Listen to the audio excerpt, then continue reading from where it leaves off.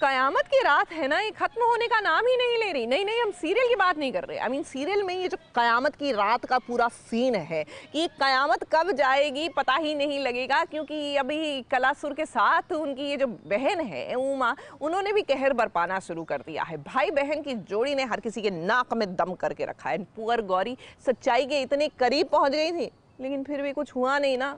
बताइए सबको कि क्या हुआ था? मैं सच जानती हूँ और मैं ये भी जानती हूँ कि आप भी सच जानती हो। तो बताइए, किसने धक्का मारा था? आप नीचे कैसे गिरी? बताइए सबको।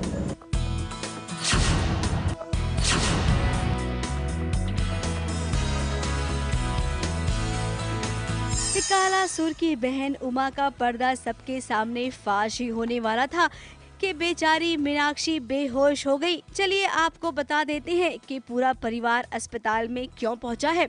मीनाक्षी अब उमा की सच्चाई जान गई है।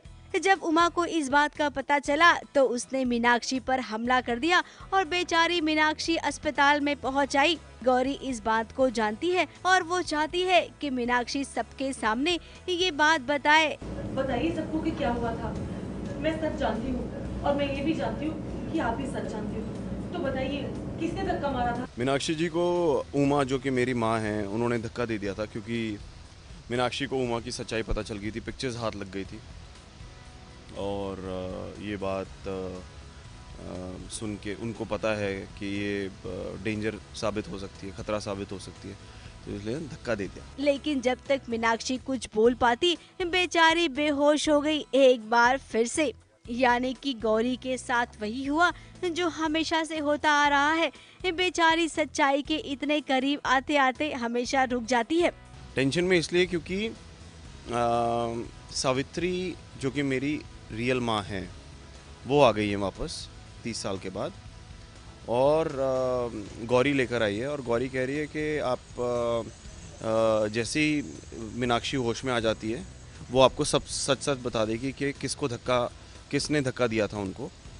तो आपको पता चल जाएगा कि दूध का दूध, पानी का पानी हो जाएगा कि उमा ही एक्चुअल कल्प्रेट है। अब इस सीरियल की कहानी को आगे बढ़ाने के लिए एक कछुए की तरह धीमी चाल चलनी ही पड़ती है। वरना खरगोश की चाल में अगर चलेंगे तो सीरियल कब आया, कब गया, इस बात का पता ही नहीं चलेगा। ABP news report.